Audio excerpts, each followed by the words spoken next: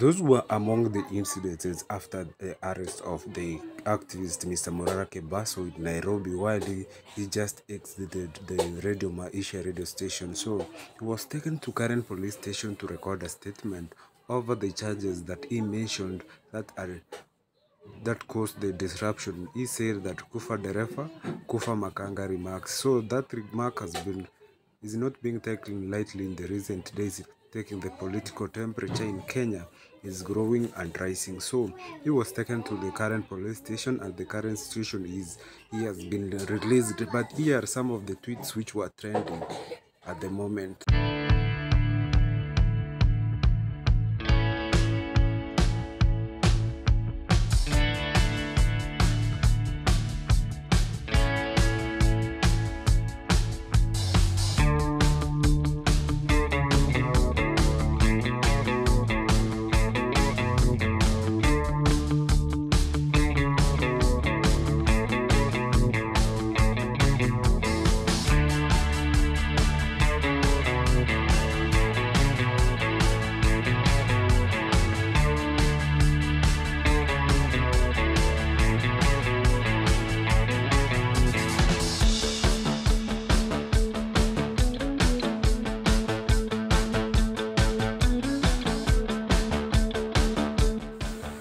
It's very clear that most tweets are suggesting that he was the one who was armed and not he's not the one who is supposed to record the statement according to the social media post. So it has been almost four days. He was in a, in a hospital in the city and he is now well.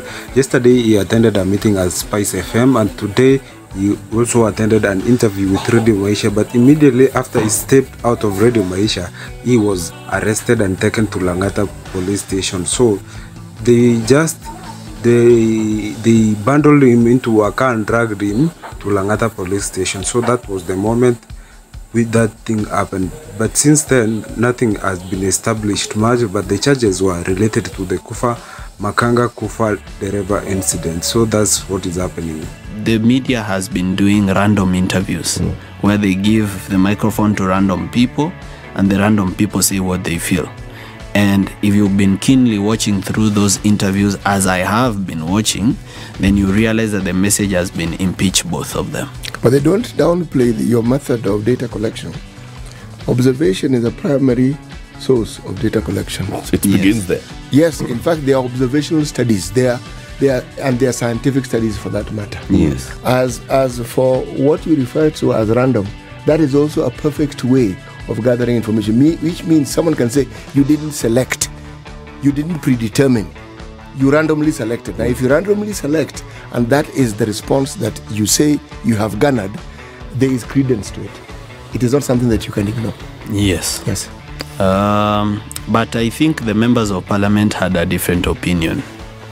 The members of parliament had a predetermined opinion when they were going for public participation. And I believe our members of parliament have lost uh, the true understanding of what public participation is.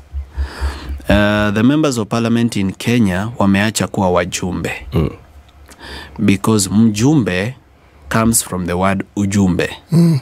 and the work of mjumbe ni kutoa ujumbe ambayo imetoka kwa wananchi kupeleka kwa bunge bunge ya ujumbe ambayo imeletwa na wajumbe. But now our members of parliament are bringing ujumbe to the people. All right? They've reversed they've reversed the role they are the ones informing the public rather than the public informing them. They forgot that they were elected to represent the public and that the public is the one that they are representing in parliament You do know that when you represent the public, there's the element of accountability that comes along with it. And if you look at those whom we refer to as elected leaders, they are loath to any form of accountability, completely loath to it. They they abrogated that particular function a long time. ago. It's most likely that these are the most words which must have led to him to be arrested because he also insisted still on the same issue of that they should be impeached port. So that issue of saying Kufa Makanga, Kufa Dereva, that might be the main reason why Morara Kebaso was arrested. remember the other day the moment he said that he will be in bomas he went to bomas and you saw what happened so it seems that the nis have been following this guy wherever he goes to media radio station and others so they followed what he said yesterday on the to the masses and today they saw that after that moment he will just get out they must arrest him because he, he has been talking about this issue of impeachment and remember this is the critical day of the impeachment motion. So they might have thought that he might come out and influence masses to occupy the parliament because right now at Nairobi, the parliament is beefed up with so much security that you can't imagine.